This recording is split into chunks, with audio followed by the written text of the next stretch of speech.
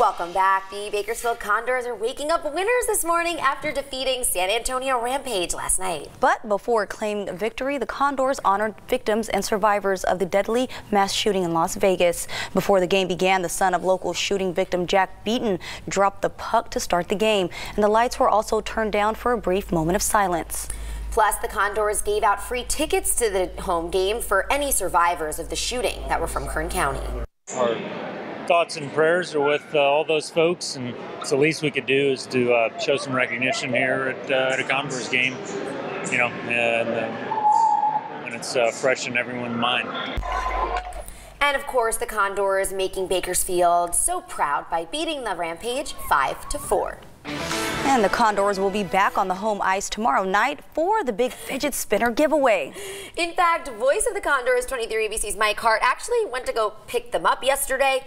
But Faith, I don't know if you realized he wasn't announcing the game last night, and no. clearly he's not here this morning. That's right. Mike, where are you?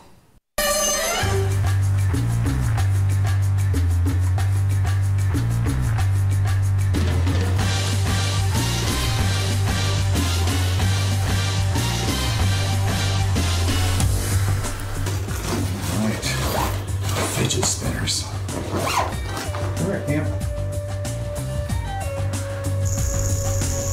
Found them, okay? I got the fidget spinners for Saturday night, but I can't get out of here.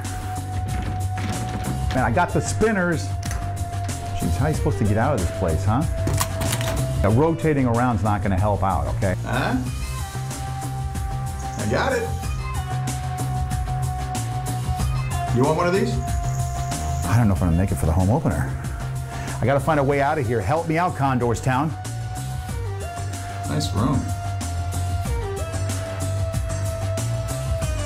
Gotta find a way out.